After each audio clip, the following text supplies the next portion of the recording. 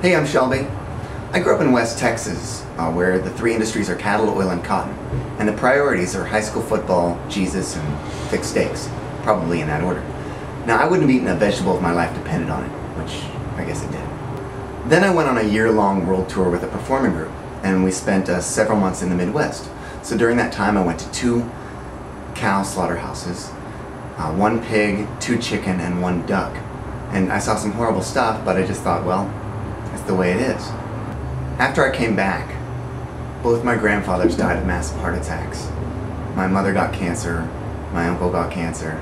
I, I gave up red meat. I thought that was what I was supposed to do to, for my health. But then I read a book called Diet for a New America, and everything came together. The things I saw in those slaughterhouses came flooding back to me. Um, I saw pigs in cages stacked five high, with their legs having grown around the wire, so the farmers had to cut off their legs to get them out of the cages.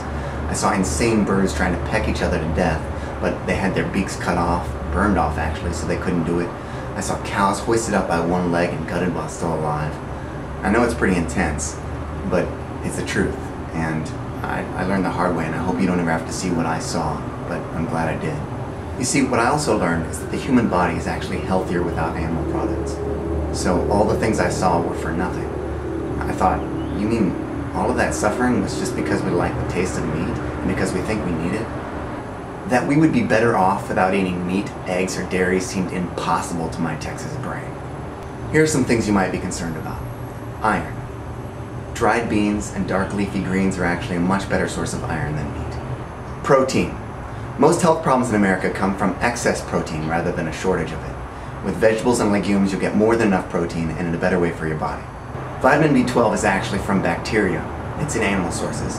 And it also used to be in vegetables when we grew them in different ways and ate them with some dirt on them. You don't have to eat flesh or dirt to get it though.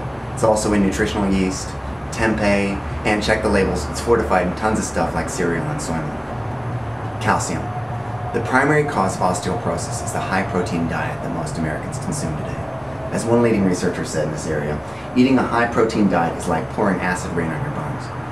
Why is it that in countries where they consume little or no dairy that they have very little osteoporosis? That's because they get their calcium from vegetable sources. How do you think adult cows have strong bones? They eat green grass. The meat and dairy industry spend hundreds of millions of dollars to keep us thinking that we need their products for our health, kind of like cigarette companies used to. This isn't even going into the environmental stuff. You know, you can be a vegetarian in a Hummer and still be more eco-friendly than a meat eater on a bicycle. I often think of that old saying, ignorance is bliss. It was. I remember when I didn't know any of this stuff, and I was just happy about it. But I can't deny it now that I do. I've seen the horrors that go on, and I know that we don't need to continue it. We can change the world and we can stop this suffering. Now, a lot of people say to me, don't tell me what I'm eating, it'll spoil my appetite.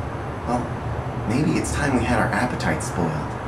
But the only way this is going to change is if people learn. The average vegan saves around 100 lives of animals a year, and is healthier. So if you can save lives and feel better, why wouldn't you? Do some research.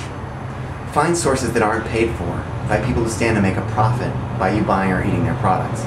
The Physicians Committee for Responsible Medicine is a good place to start. That's the PCRM.org.